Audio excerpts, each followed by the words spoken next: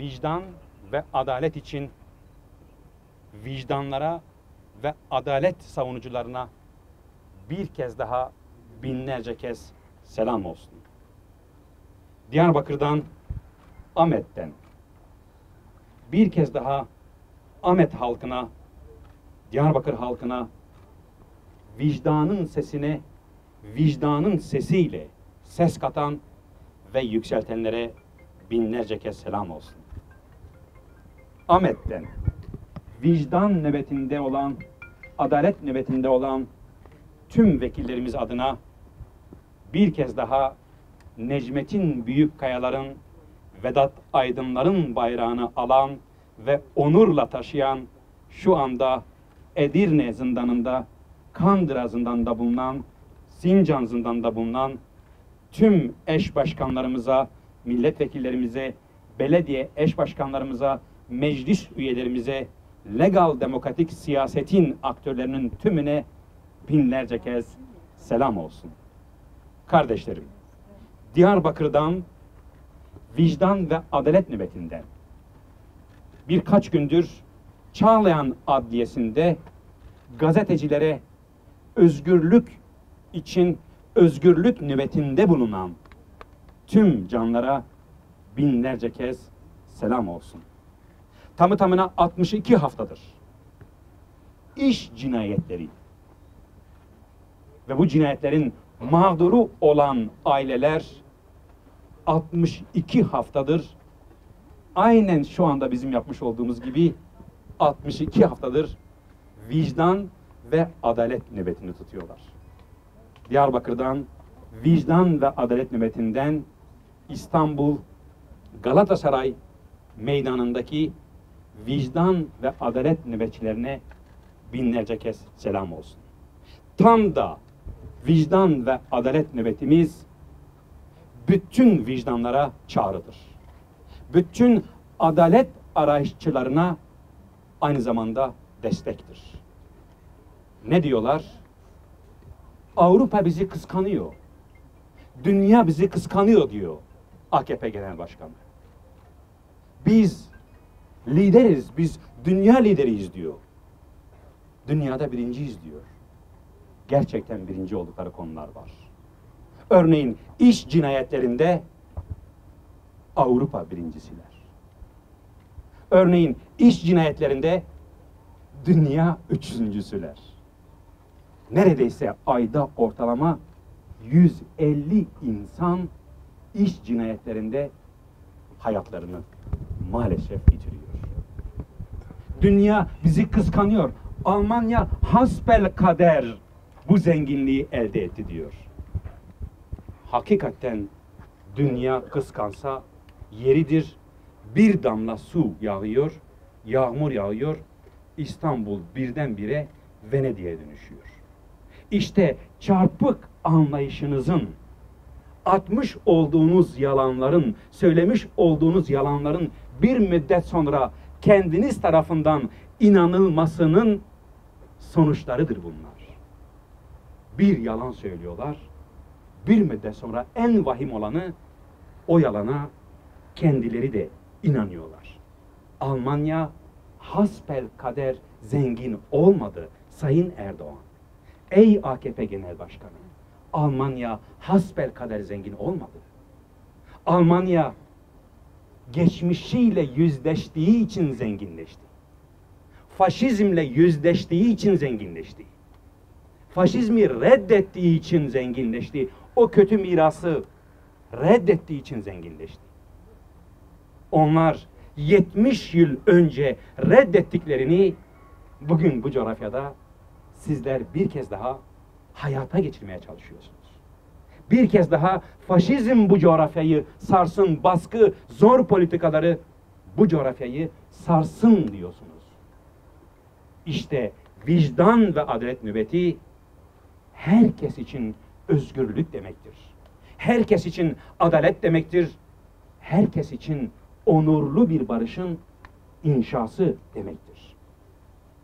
Yalan bir siyasetçinin başvuracağı bir yöntem değildir. Zira siyaset kurumu ve siyasetçi toplumun rol modeli olmak durumundadır. G20 toplantısında eş genel başkanımıza ithamda bulundu.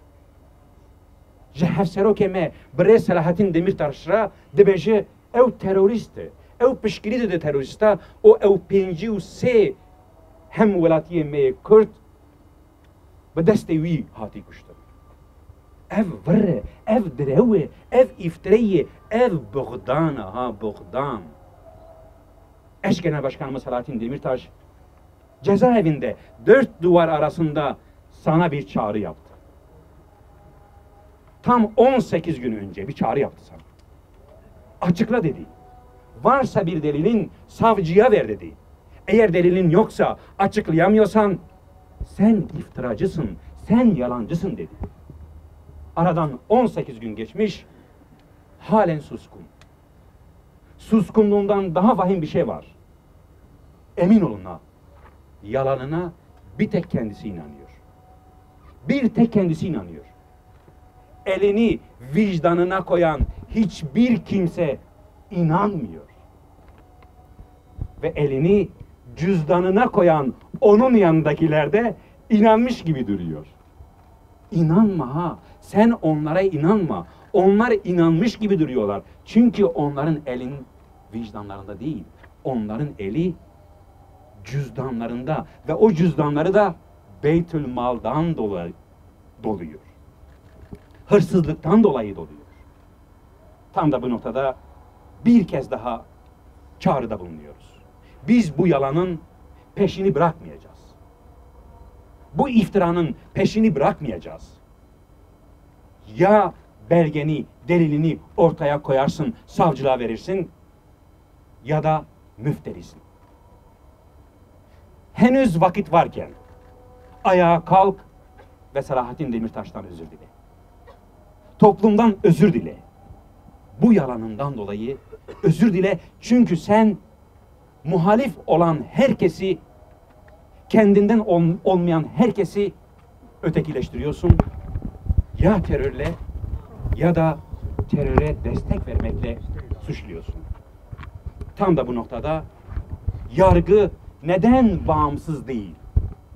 Yargı neden iktidarın neden iktidarın baskısı altında sorusuna verebileceğimiz en büyük ispat, en büyük delillerden bir tanesi de eş genel başkanımız Selahattin Demirtaş'ın tutuklandığı, darbeyle tutuklandığı 4 Kasım'dan bugüne değin henüz duruşması yapılmadı. Neredeyse 60 dosyada 60 kez beyanda bulundu. Mahkemelere sevk bir sistemiyle katıldı. Ama tutuklanmasına vesile olan dosyada henüz duruşma yapılmadı. Niçin?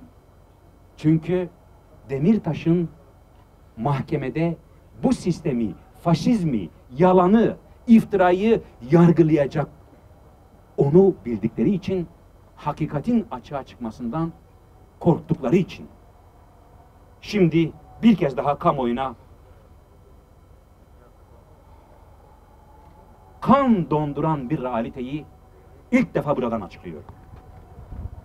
19 19. Ağır Ceza Mahkemesi Ankara. Yani eş genel başkanımızın tutuklu dosyasının yargılamasının yapılacağı dosya ve mahkemeden bahsediyor. O mahkeme bir karar aldı. 19. Ağır Ceza Mahkemesi'nin dosyası kamuoyunda Yasin Börü davası olarak bilinen ikinci Ağır Ceza Mahkemesi'nin dosyasıyla birleştirme için ikinci Ağır Ceza Mahkemesi'ne gönderdi. İkinci Ağır Ceza Mahkemesi dedi ki bu dosya bizim dosyamız değil, bu dosyanın birleştirilmesi hukuki değil, bu dosyanın birleştirilmesi kanuni değil, 19. Ağır Ceza Mahkemesi'ne geri gönderdi. 19. Ağır Ceza Mahkemesi resen birleştirme kararı alıp tekrar 2. Ağır Ceza Mahkemesi'ne geri gönderdi. Çünkü talimat almış. Çünkü talimat almış. Emir büyük yerden gelmiş. Bu dosya birleştirilecek olduğundan farklı gösterilecek ve bir itham, bir yalanla legal demokratik siyaset olduğundan farklı gösterilecek.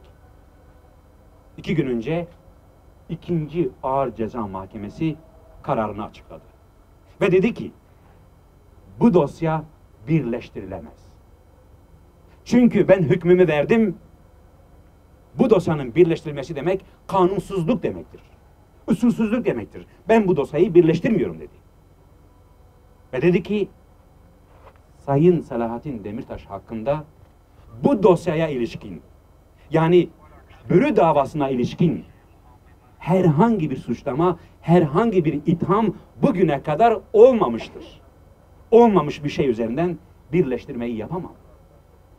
Şu ana kadar Sayın Demirtaş hakkında sadece ve sadece toplantı ve gösteri yürüyüşleri kanununa muhalefetten dolayı bir fezleke var. O fezlekenin konusuyla bu davanın konusu örtüşemez.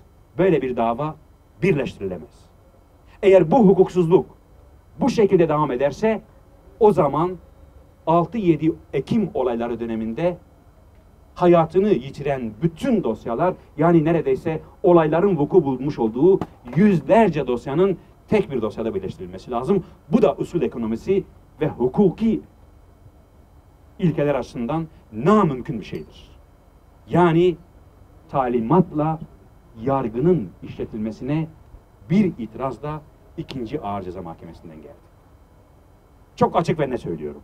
İkinci ağır ceza mahkemesi heyetinin başına ne gelirse yargıyı talimat altına alanların tehdidinin sonucu gelmiş olacaktır. Bunun bir kere kayıtlara geçmesini istiyoruz. Şimdi Hitler Nazi Almanyası'nda ne demişti? Onun bir sözüne bakalım. Diyor ki Hitler, yargı hayatın, devlet hayatının efendisi olamaz. Yargı devlet politikasının ancak ve ancak hizmetkarı olur. Peki AKP Genel Başkanı ne diyor? 14 Ocak 2014. Yargın, yargı milletin seçtiklerine, milli iradeye istikamet çizemez diyor. Peki milletin seçtikleri Selahattin Demirtaşlar, Figen Yüksekdağlar, Çağlar Demireller, İdris Balukenler, milletin seçtikleri, milletin iradesi neden talimatlarımızla hizaya çekilmeye çalışılıyorlar? İşte tam da vicdan ve adalet nöbeti milletin iradesinin talimatlarla hizaya çekilemeyeceğinin, çektirilemeyeceğinin aynı zamanda nöbeti, aynı zamanda duruşudur. Kardeşlerim, mahkemede konuşan eş genel başkanlarımız hakkında savcılıkta verdikleri ifadelerden dolayı ayrıca fezleke hazırlanıyor. Mitingden dolayı fezleke hazırlanıyor. Ağzını açıyor, fezleke hazırlanıyor. Şimdi bu faşizm korku filmi meclise sıçramış durumda. Bir iş tüzük değişikliği yapıldı. Bu iş tüzük değişikliğinin tek bir anlamı var. Faşizmin en kötü korku filmi çekiliyor. Ve faşizmin çekilen bu korku filminin baş kahramanı kendi kor kendi gölgesinden korkuyor. Öyle bir öyle bir kötü film ki bu filmin baş kahramanı kendi gölgesinden korkuyor. İşte faşizm korku filmine dönüştürmesin, bir kabusa dönüştürmesin diye bugün vicdan ve adalet nöbetini burada tutuyoruz.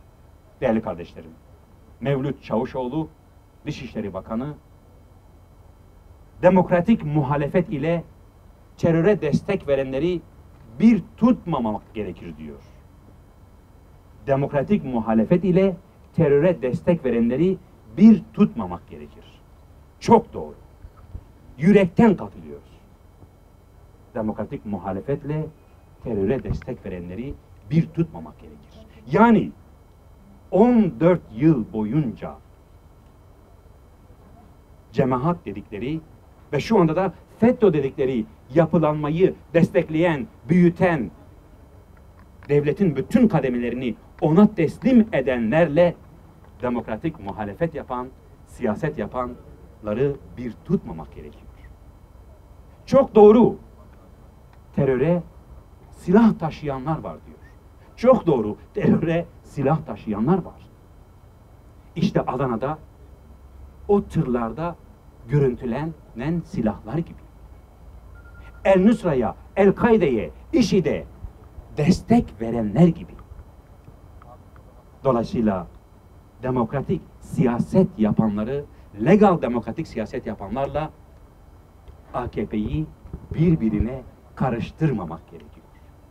İşte bu siyasete, bu yönteme dur demek içindir aynı zamanda adalet nöbeti. Değerli basın mensupları, milletvekillerimizin düşürülmesini, dokunulmazlıklarının kaldırılmasını devamsızlığına bağlıyorlar. Devamsızlıktan dolayı sözüm ona Tuğba Hezer ve Faysal Sarıyıldız'ın milletvekillikleri düşürülmüş. Yalan söylüyorsunuz. Eğer eğer milletvekilliklerimizin Sarı Yıldız'ın ve Tuğba Hezer'in dokunulmazlığı devamsızlıktan dolayı düşmüşse buyurun açın, açın çeteleyi, açın devam çizelgesini Davutoğlu, devrik Başbakan Davutoğlu'nun ne kadar meclise devam ettiği, ne kadar devam etmediği açık gün gibi açığa çıkarmış olacaktır.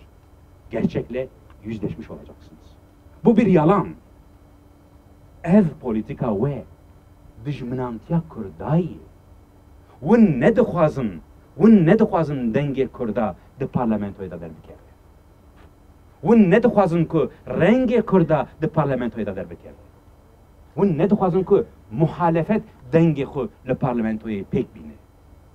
Niha di ev guhertinê da ji niha şûn va ku di parlamentoya da yek bibêje Kurd, an jî bibêje Kurdistan, an jî bibêje Kurd, an jî Dersim, an jî bibêje Amed. Gerek cürm lêwerigirin. Yani parlamentoda konuşmanın dahi, muhalefet etmenin dahi yasaklandığı bir rejim inşa ediliyor.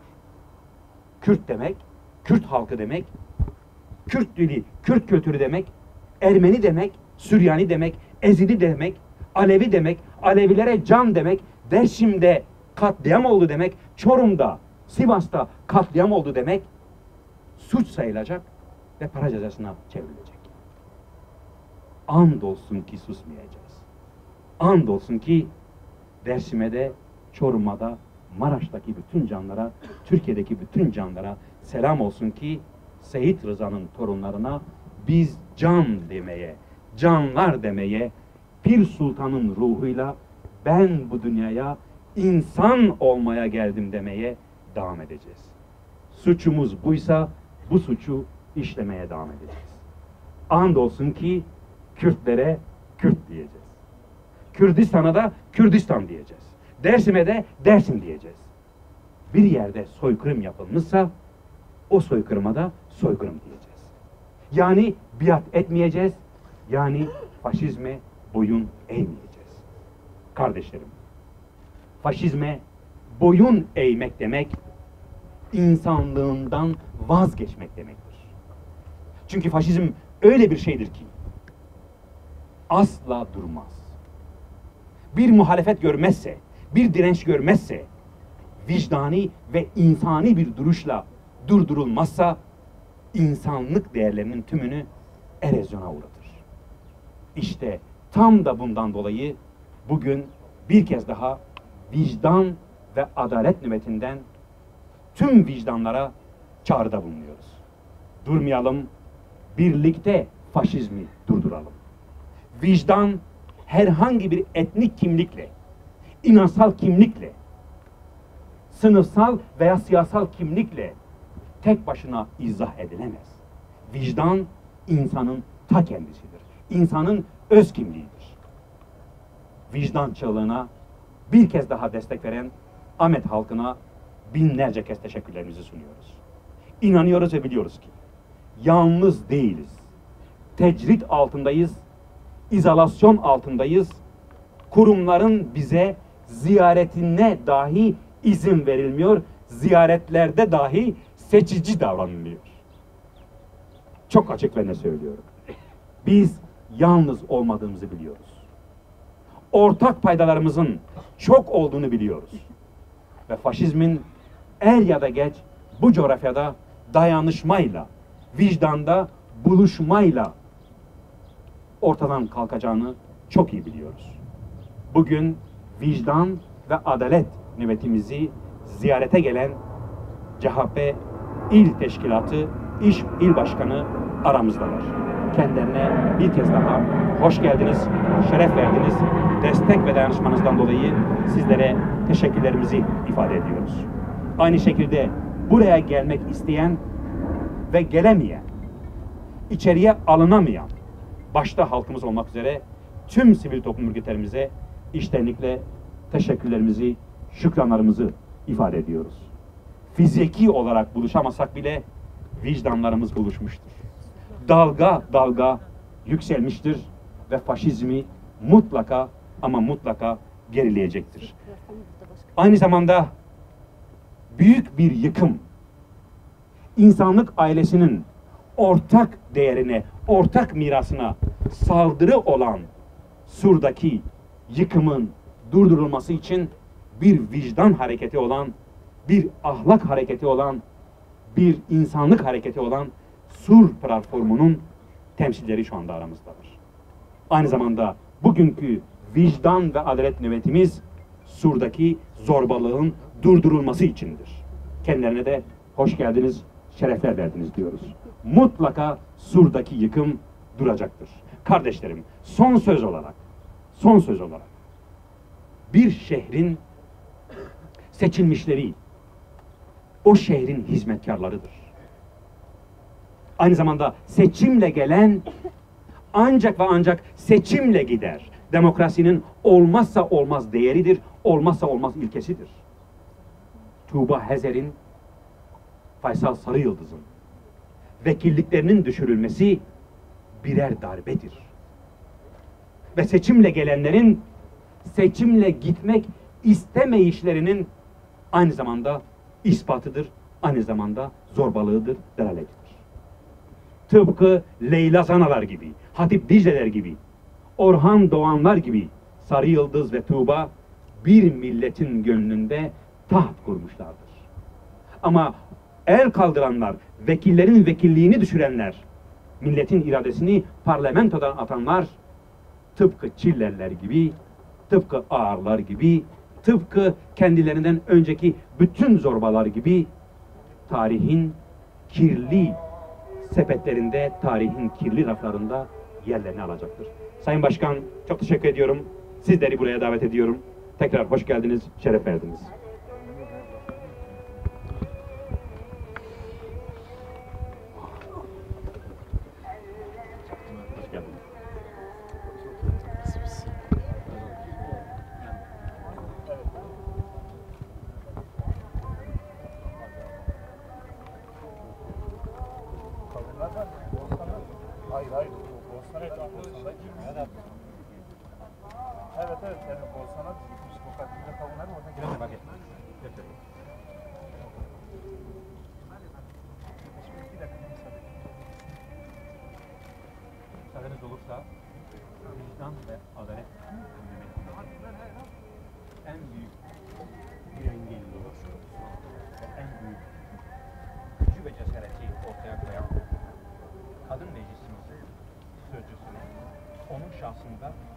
Bütün kadın yoldaşlarımıza, arkadaşlarımıza takdim edelim.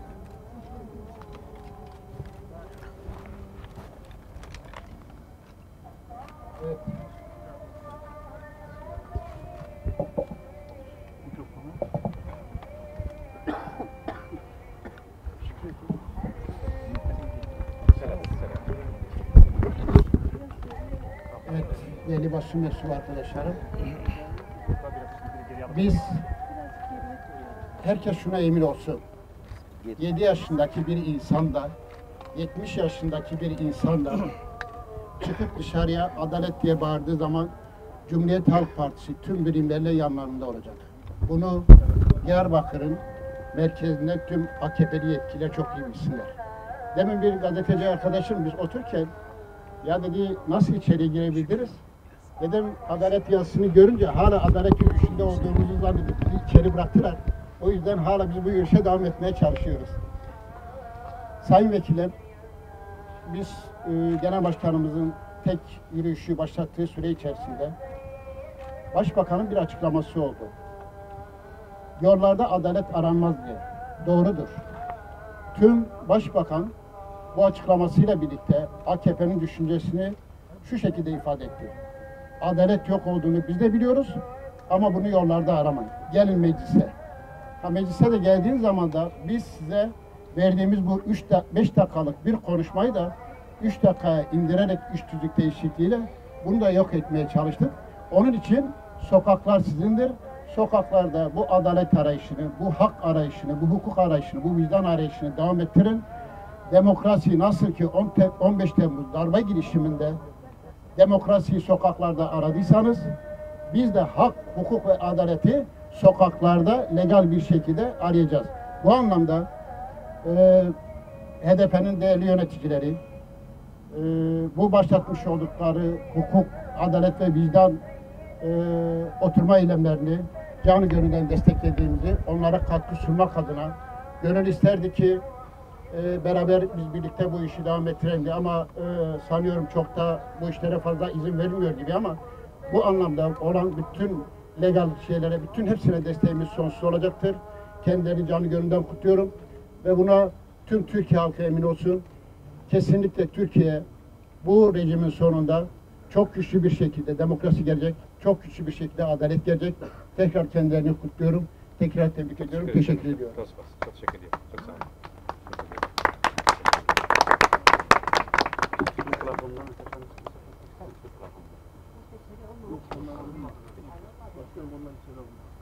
Sur platformundaki arkadaşlarımız içeri alınmamışlar arkadaşlar.